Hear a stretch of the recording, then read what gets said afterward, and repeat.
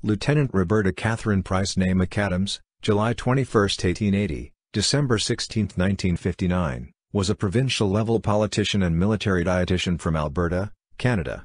She was the second woman elected to a legislative body in the British Empire and the first to introduce and pass a piece of legislation. Early life MacAdams was born and raised in Sarnia, Ontario.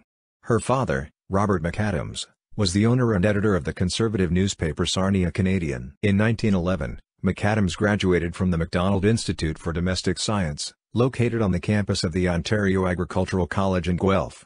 She moved to Alberta, where she worked as a domestic science instructor with the Alberta government. She traveled around the province, speaking with rural women about their needs and teaching home economics.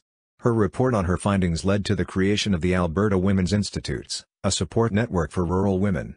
In 1912, she became the supervisor of household science for the Edmonton Public School District, teaching cooking classes. Military career In 1916, MacAdams was commissioned as a lieutenant in the Canadian Army Medical Corps, even though she was not a nurse.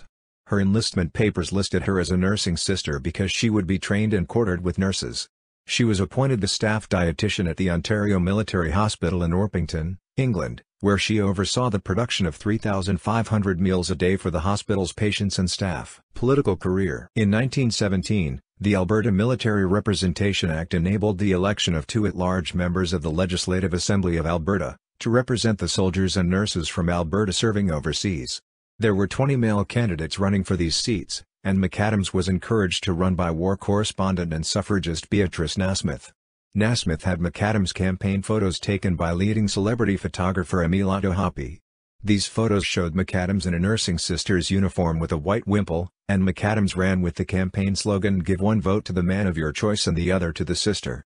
She will work not only for your best interests, but for those of your wives, mothers, sweethearts, sisters and children after the war. Remember those who have helped you so nobly through the fight. MacAdams was elected to the legislature as independent, becoming the second woman elected to the assembly, after Louise McKinney of the Nonpartisan League.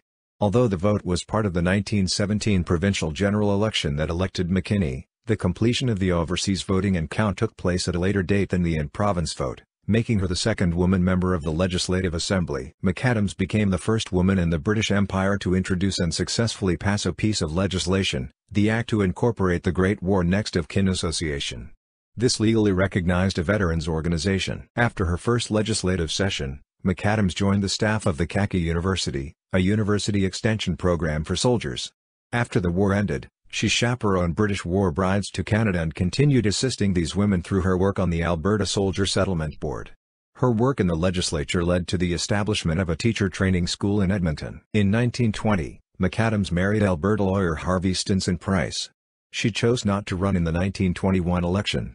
Instead, she moved to Calgary with her husband and son Robert where she continued to be involved in women's and educational organizations until her death. Legacy MacAdams' portrait was presented to the Alberta Legislature on March 16, 1967, in honor of her accomplishments. The Roberta MacAdams School in Edmonton, Alberta, which opened on October 20, 2016, was named in her honor.